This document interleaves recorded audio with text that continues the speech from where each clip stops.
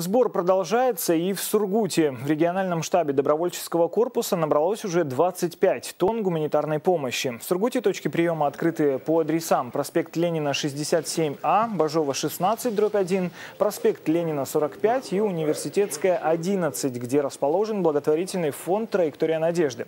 Приоритеты те же – предметы первой необходимости, продукты длительного питания и одежда.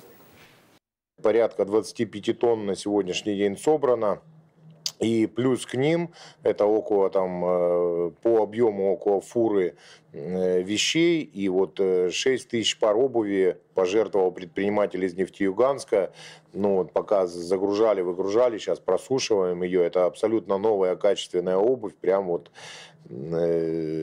наверное, будем брать ее с собой, чтобы уже гарантированно прям раздавать тем, кому она непосредственно нужна, потому что с Мариуполя люди выходят без одежды, без, э, в лучшем случае, если успевают взять с собой документы.